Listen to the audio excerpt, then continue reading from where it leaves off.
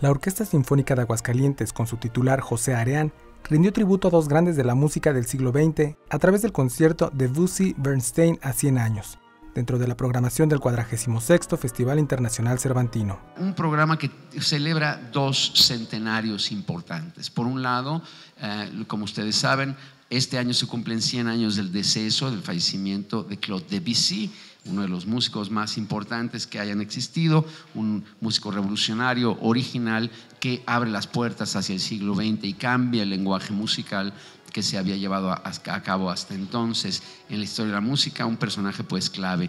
Y también se cumplen 100 años del nacimiento de Leonard Bernstein quien, a pesar de que conocemos sobre todo como director, es un hombre, fue un hombre eh, muchísimo ah, más influyente y universal.